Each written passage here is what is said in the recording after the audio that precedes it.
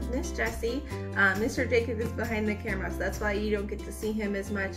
Um, but I'm going to speak for him real quick when I say that we both miss you so much, um, and we can't wait to see you guys. So how has your week been going? Um, let me know. Send me uh, some messages, maybe some emails, whatever you want, because I really miss you guys. Um, our theme this month is, and it's seriously, it's so funny how well the lessons um, that the the people who make the lessons, you know, Miss Miss Jessie and Mr. Jacob, we give you the lessons and we we get ready for them. But and your other teachers too, when we're back um, at church, they they do a lot of prep too. But we don't actually make the lessons; we get it from a different company. And I think it's just so funny because the um, themes are just, they're so appropriate for everything that we're um, going through right now. It just matches our life so well. And I have a feeling that they didn't, they didn't make these, we, we, this was made before we knew what was going on. And I think that's just, uh, just gives us so much insight and like so much, um, should give us so much faith in God that he really wants us to be able to turn to him when times are weird or tough or anything like that. So um, this month from May, it's our theme is unstuck. Don't give up. Don't give up, guys. Keep going. Can you think of something that you've wanted to give up on recently? I know I have. Oh my gosh. I can I could sit here and talk to you guys probably for about 42 minutes about all of the things that I've wanted to give up on recently. Um, you know, projects. We're homeschooling the girls right now. Well, everybody's being homeschooled, right? We're e-learning. That's tough for us. It's tough for us parents too. I know it's really tough for you kids. Um, sometimes I just don't even want to do the dishes, you know? But it's so important not to give up. Um, I want to know what, what's been tough for you. Let me know, okay? I want to hear from you guys and that way I can pray for you and then we can talk about it, okay? Um, but now I want to bring us to um, a verse in our Bible. And this is, this is, um, it's the Lord's Prayer, okay? They, um, Jesus, in case you are ever kind of confused about how to pray, you're not sure like what your prayer should be about, he literally tells us right here. This is in Matthew. And I, I memorized this when I was in school. Um, I, I had to memorize it and I'm really glad I did. And sometimes when I'm praying, if I'm um, just a little bit, if I'm having a hard time focusing, right? Miss Jessie having a hard time focusing? That seems crazy. No, Miss Jessie has a hard time focusing a lot. So sometimes this prayer really helps me um, get to where I need to be in conversation with the Lord. Um, but it also is kind of good to use to have an idea of where your heart should be when you're talking to him. So um, it says, Our Father who art in heaven. This one actually says, Our Father in heaven, hallowed be your name. Your kingdom come, your will be done on earth as it is in heaven. Give us today our daily bread. Forgive us our debts as we have as we also have forgiven our debtors and lead us not into temptation, but deliver us from the evil one. So those words in um, the Bible that I have in front of me are actually a little bit different than I learned exactly growing up. The exact words that I learned growing up, um, they are like in my brain ingrained. So reading over it, it's a little bit tricky. You might have heard me stumble. And I think that's good. I think it's important for me to go over this prayer in the different versions. We talked about how there's different versions of the Bible and how Miss Jessie, her Bible, I don't know how well you can see it. It says NIV, okay? And this is one, um, this one is, gosh, 15 years old, I think we decided, something like that. And they do update the words and they do change it a little to make sense to, um, you know, you talk a little bit different than your grandparents and your grandparents talk a little bit different than their grandparents. So, um, you know, they want to make sure that it's accessible and they understand it. So like I said, I think it's important for um, me to go through that prayer um, when it's a little bit different. It reminds me that it's not something I should just memorize and I should just go through um, word by word. I need to know it in my heart and my soul um, and to commit all of me to it when I'm talking to God, okay? Um, so, I want to go over particularly one part. On my paper, because I wrote this just in the way that I memorized it, it was Thy kingdom come, thy will be done on earth as it is in heaven. But here in the NIV, it's um, Your kingdom come, your is God, um, your will be done, your God again, on earth as it is in heaven. Your kingdom come, your will be done on earth as it is in heaven. So let's think about that. And what do you think that means? Okay? So I want you to let you know that this prayer that we're talking about, it's we're asking God for help, and we're also telling him, yes, we believe. It's um, an assertion, and it's also kind of a request. Does that make sense? Do you guys, those words, it's um, saying, yep, and please. So think about that. God is going to work through us when we choose to live his way. Um, thy will be done. That's your will be done. What you want to be done is going to be done, God. So we're asking him, um, we're going to be, we're asking him to help us and we're choosing his way at the same time. Does that make sense? So think about that as you pray and hopefully that helps you if you've been having a hard time praying or if you haven't known exactly um, what to pray about. Go back to that. This is in uh, Matthew chapter 6. Uh, I mean, you can start the whole bit at verse 5. The prayer starts um, at verse 9. This is what Jesus said is how you should pray. All right, we're going to go over the story now. We've been going through the story of Jesus. So give me one second to take a sip of my coffee and then we'll get through it. Okay, so parents, you don't know this, but your kiddos probably know that the things that Miss Jessie needs to teach are we need our, um, whatever we're learning about. Again, we're learning about unstuck, don't give up, need my Bible, and I also need my coffee. Your kiddos know that, and you should know that too. Um, anyways, so I'm going to go over our story. We have, um, in April, we went over the story of Easter, we talked about Jesus' crucifixion before that and the betrayal that happened in the garden. We talked about Jesus being risen, all right? And now we're kind of going over the disciples and what they, how they um, lived after Jesus was not walking with them every day like they were used to, but they believed in his uh, in his work. They believed that what he was doing was the good thing, the right thing to do, and we're talking about how they they did that. Um, and I think this is so important. Like I said, it's important for us, but it was so important for the disciples. Determination, deciding it's worth it to finish what you started. Okay, so so many times Jesus or the disciples um, probably wanted to say, "Ugh, I quit." This is too hard. Can't tell you how many times I've, oh, I quit. This is too hard. So many times in, in my life. But the disciples especially, think about where they were. They had Jesus. They saw him performing these miracles. They knew he was a good man. They could, they, they knew it. And then they saw him die in a very awful way. Okay. And they're like, well, now what? Well, he was risen from the dead, just like the, the Old Testament, just like their um, prophecies had said and then after that, he kind of disappeared again. Oh no, these poor guys, what are they gonna do? Well, remember last week we talked about the Pentecost, right? When um, God sent the Holy Spirit to help them out. Do you remember that? When there was wind and fire in the house? Kind of crazy. But then they started to talk in all these tongues. They learned they were talking in different languages, and then they were able to connect with more people thanks to the Holy Spirit. Okay? God gave them what they needed every step of the way to keep going. Um, remember Peter? Do you remember the 3,000 people that he was able to speak to after the Holy Spirit came and um, gave him the, the ability and the confidence and everything he needed to speak to the crowd? Do you remember that? Okay, so that was all review. Here we are now. We are in Acts, A C T S, Acts. And it's called Acts because, can you guess why? Do you know why?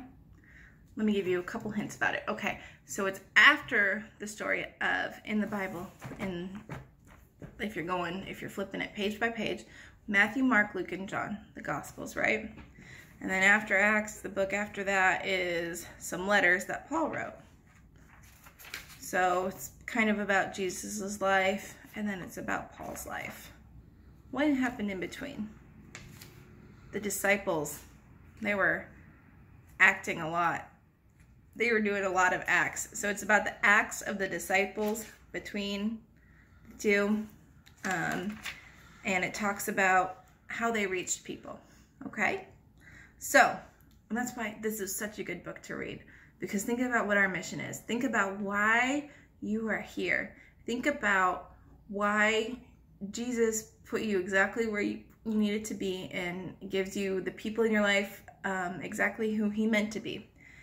Because you are meant to talk about Jesus and to live your life for him and help others live their life for him. And that's what the disciples did.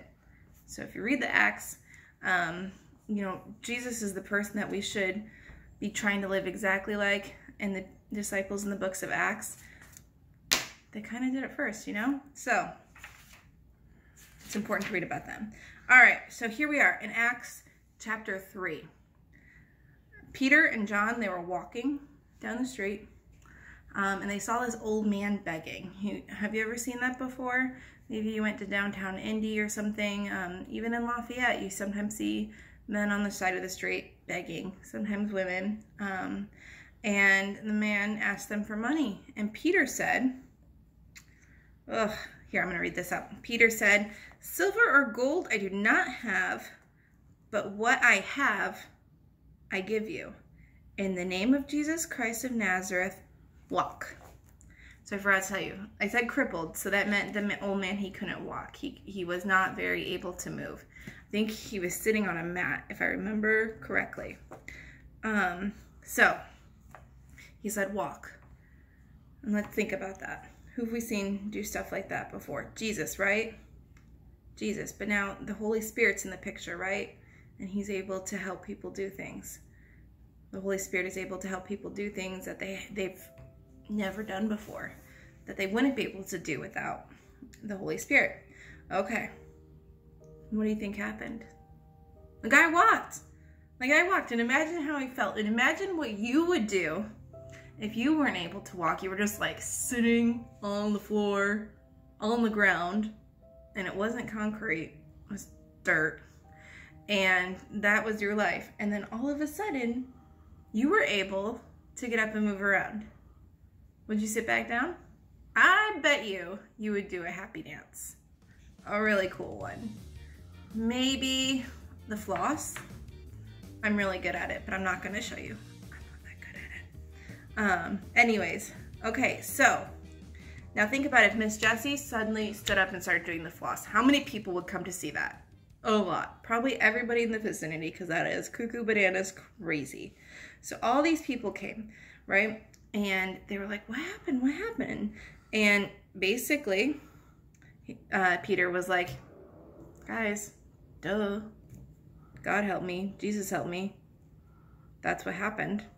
Um, said he asserted, he, he told them, he said, Jesus is the Lord. He's the one who helped me help this man get better. And um, the religious leaders, like the ones who killed Jesus. They still don't like Jesus, and they still don't really like the things that he was doing, even through his disciples. So he took Peter and John, they took Peter and John, and they jailed them. They put them in jail. And they're like, seriously, what happened? What happened? And um, Peter stuck to his story, right? kept st sticking sticking to his story even when he was in a sticky situation. Let's think about all the sticking that happened there. And what happened after that? What do you think happened? Well the religious leaders they couldn't really keep him in there. They were like all of these people say that he did it. There's a lot of people here. And that man he was old and he was crippled and now he's not i do not understand so they ended up letting him go. And John, both of them. So they got out of that sticky situation. So they got out, and after that, over 5,000 people were now decided to be followers of God because of what happened that day. Isn't that incredible? I think that's incredible. So I have, um, and this is Acts chapter 4, verse 12. It says, Salvation is found in no one else, for there is no other name under heaven given to men by which we must be saved. And there he is just asserting, I keep using that word asserting. Do you guys know what that means? He is um, confirming and he is, uh, hmm, he is just making it known. And he's going to keep repeating it, just like we should be, that Jesus is the Lord. We are saved by nobody else. Jesus is the one that saves us. And there is no other name no other name that can save us.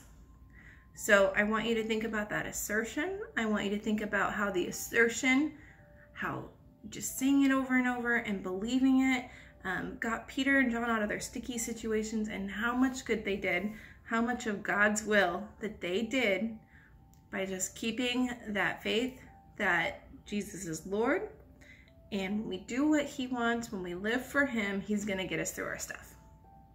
All right, so now we're gonna do a fun little activity and um, I'll see you in a sticky minute. Okay, so Peter and John, um, they saw Jesus be in a lot of pain. They saw him die. They saw him come back, and then he was gone again. And they had this huge mission, right, of spreading the word to all of the corners of the earth, everywhere on earth, right? Woof! And then they started to do that and then they were jailed. Ugh. Oh my gosh. Imagine how frustrating it would be to be told to do something that you have to do something really important, but then you are literally locked up. That is tough. So we're going to talk about how important it is to keep going even when it gets tough. Okay, guys, keep going even when it gets tough. So to stick with our sticky situation theme, and tough, I have some ingredients here. Have you guys ever heard of oobleck? You heard of it? Okay, I'm going to tell you something. This is a personal fact about Miss Jessie. Are you ready? I was not born with the last name Christian. That's my, my last name now. My last name that I was born with, I got that last, first of all, I got the last name Christian when I married Jacob. That was his last name. My last name was it wasn't Oobleck. Close. It was Oblak, right? And um, it, a lot of people thought it was Irish.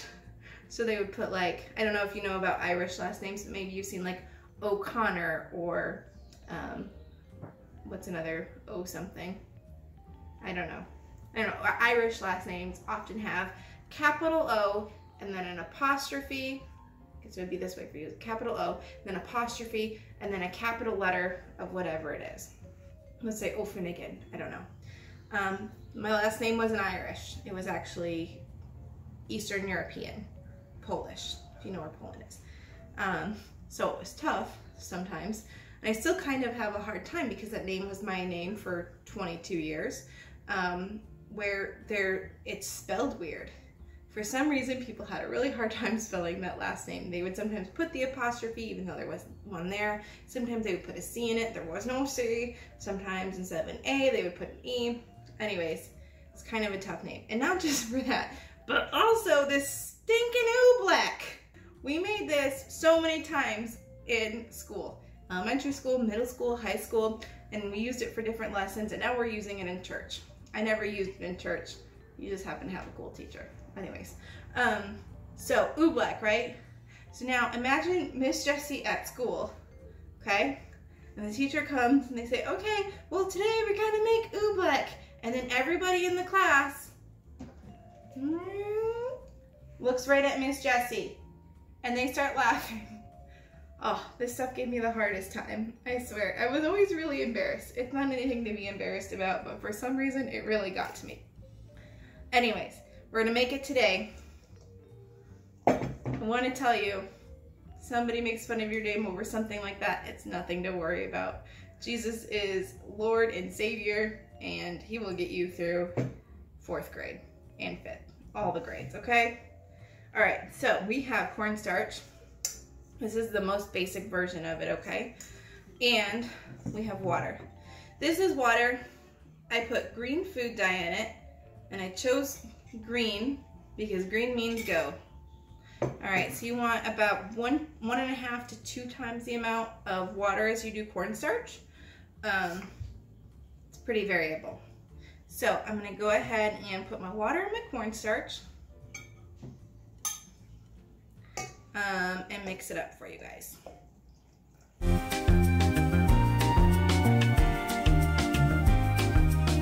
Hi, and welcome back to Kidopolis with Miss Jessie. You might be thinking to yourself, Miss Jessie, that was a weird spot for a break. And if you're thinking that, you're totally right.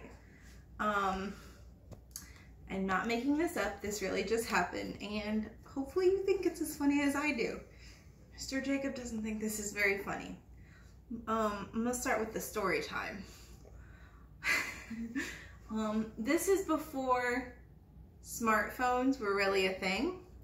And I was a poor college kid and I didn't have a printer at my apartment, but I really wanted to make these cookies, okay? Um, they were oatmeal chocolate chip cookies, and I'd never made oatmeal cookies before. I'd only ever made chocolate chip cookies before. Um, and even then, I always used like the break and bakes. So anyways, um, I didn't have an iPhone to look at the recipe. I didn't have a cookbook for the recipe. And I definitely didn't have a printer to print it off to take to the kitchen. So I just took my pen and I wrote down the recipe and then I went and baked it. And they seemed a little strange when I put them in the oven and I was like, they'll probably form up. All that liquid in there is gonna dry up and they'll look like cookies when this is all done. No. See, um, when Miss Jessie wrote down the recipe, I forgot the flour.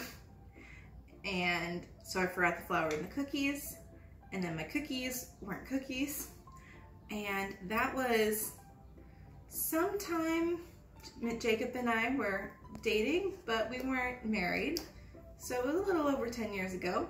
And to this day, Jacob always reminds me whenever I make cookies to put in the flour because sometimes I'm bad at transcribing things.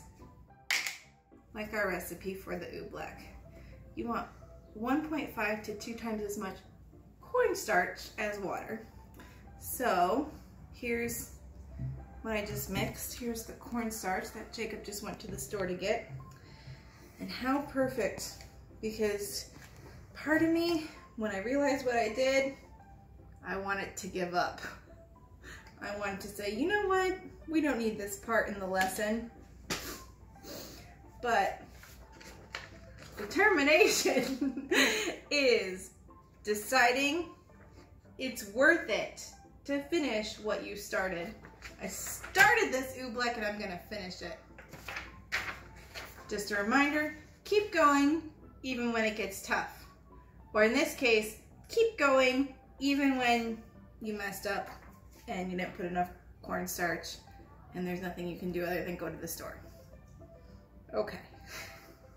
Sorry, Miss Jessie just thinks this is such a funny coincidence. So now, um, in proper chemist mode. And that's another fun fact about Miss Jessie. I'm a chemist, so I should know how to bake. I do know how to bake now, guys. I'm a lot better at it now. Next time you see Jacob, hopefully he will verify. I'm, I'm decent at baking now. I'm a lot more careful. Apparently I just didn't carry it over to my oobleck. Anyways, so I didn't measure this. Google the recipe. Maybe we'll put a link with the email this week. We'll put a link with the email this week. All right. So now we have our, it's a little bit better, but right now it's kind of tough to stir. This is pretty typical of the oobleck. It's gonna be tough because um, the cornstarch kind of like together and the water can't get to the middle of it and make it like gooey, okay? It's still pretty much liquidy. A little bit more. We're doing great today. So, you know your oobleck is all good and stirred when Take a big spoonful of it. And it tastes like lime jello.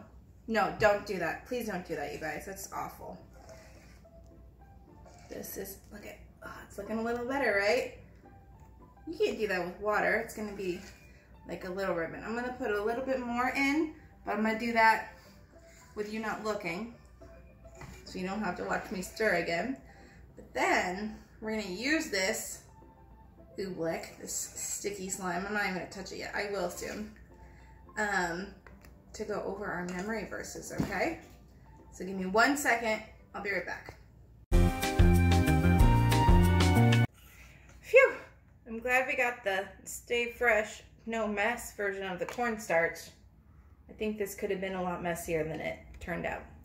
All right, so we got, this is what it looks like now.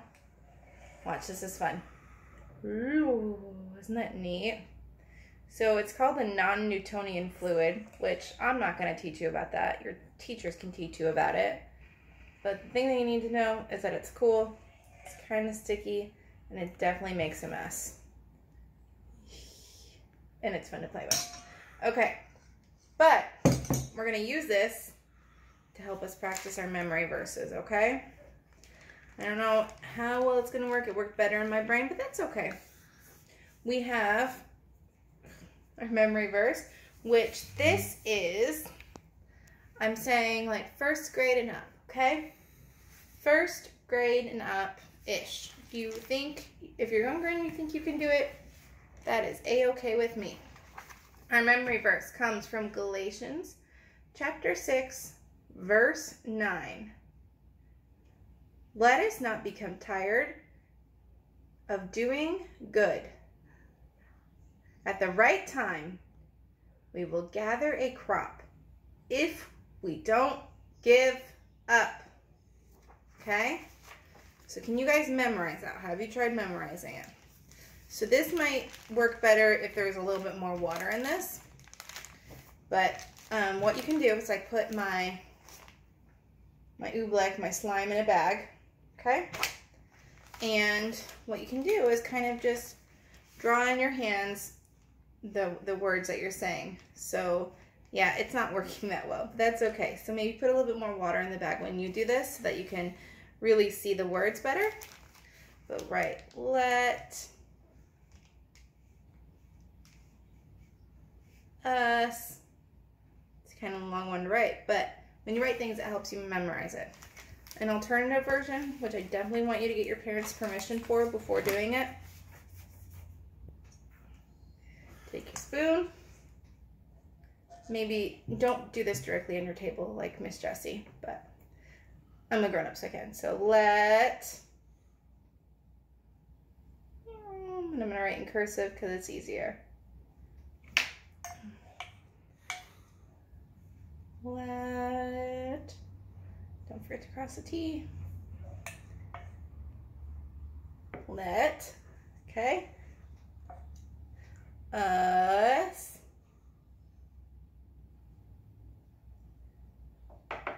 and write it out like that, okay? One more version, which I'm not going to do. You have your bag, you tried it, it didn't work, spoon's not working great. You can snip the end and then become a cake decorator, okay? That sounds fun. Maybe I actually will do that. Hold, please. Okay, Miss Jessie is having way too much fun with this lesson. Um, I have a big mess to clean up. So we're going to go over um, our memory verse, the, the versity, if you will. Versity, we have versity and junior versity. I hope I'm not the only one who thinks that's funny.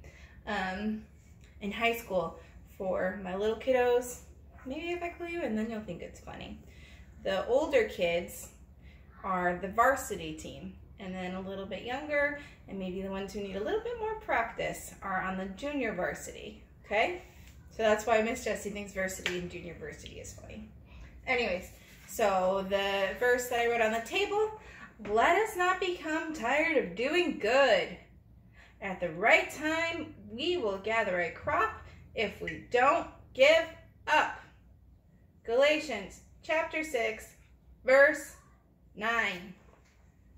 All right. And make sure, by the way, if you're doing this, you have your parents' full permission. They understand the extent of this mess. And maybe think about doing it outside. All right. Now we're going to move on to the junior varsity. And this is in Thessalonians, Second Thessalonians. Which do you remember why Miss Jessie likes this book? Do you guys remember? It's a fun word.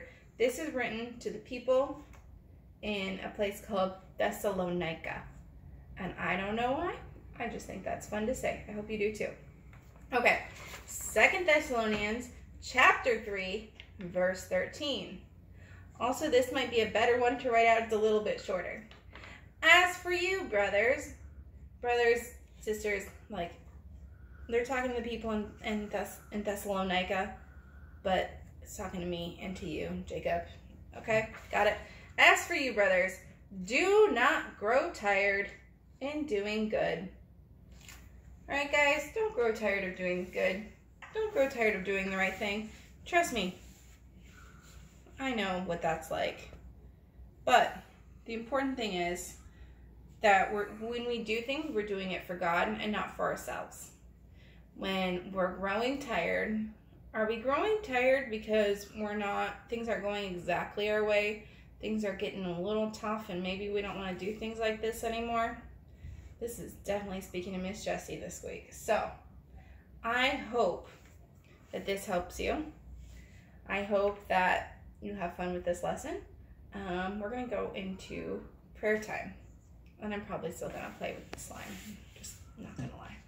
One more reminder about the memory verses. Sorry, this is a we're going a little back and forth. That's okay. This slime is really getting to me.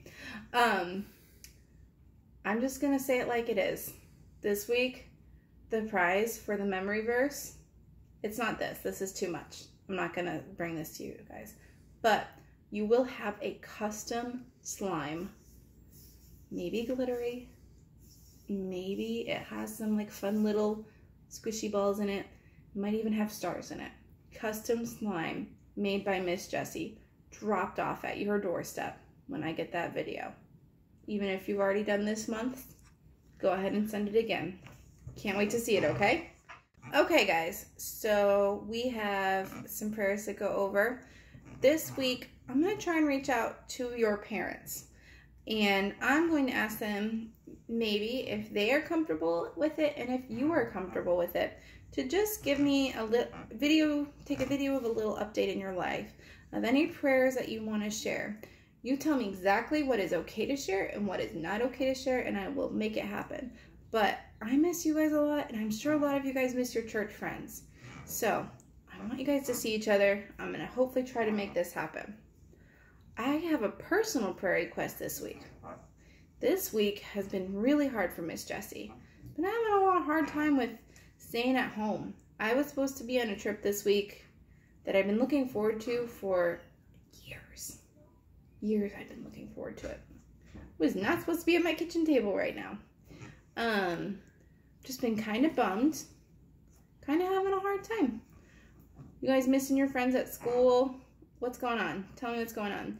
I know that another reason that I'm bummed is my girls are missing their school. Esme and Phoebe miss their school. Heidi misses church so much. She asks us every single day, every single day when we're going to go back to church. And oh, it's hard for a mom to see that in her kiddos.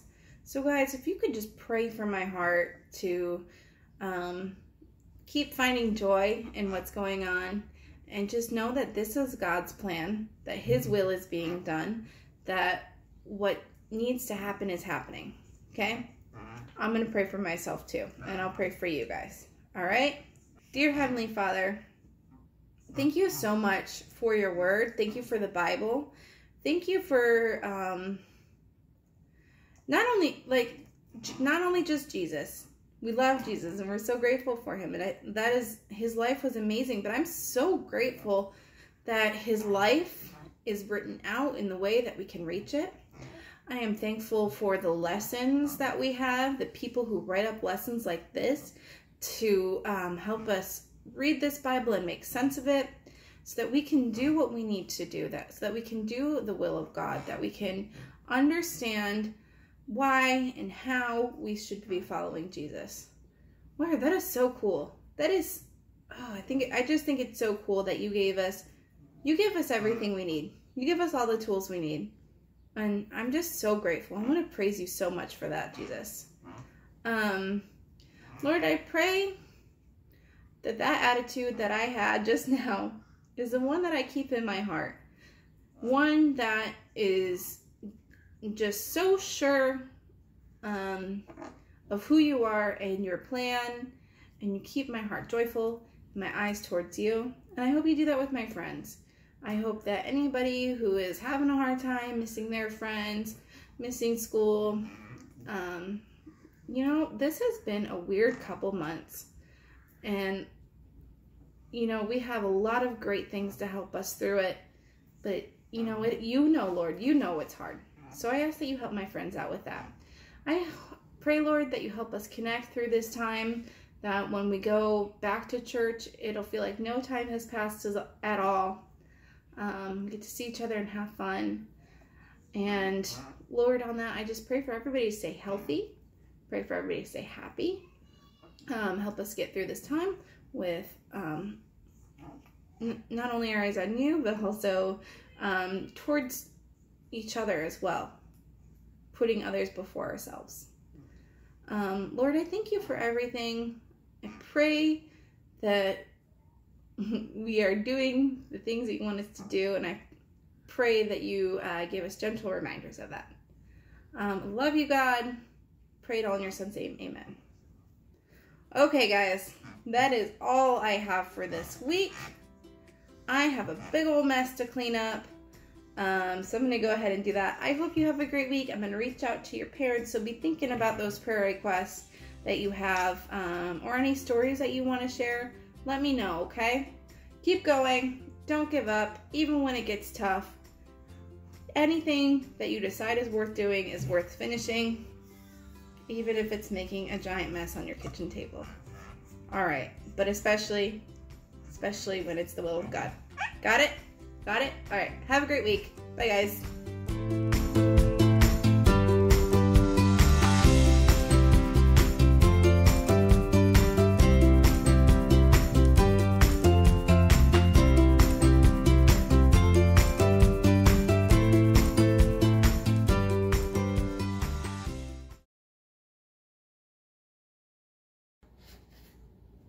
Was it worth it?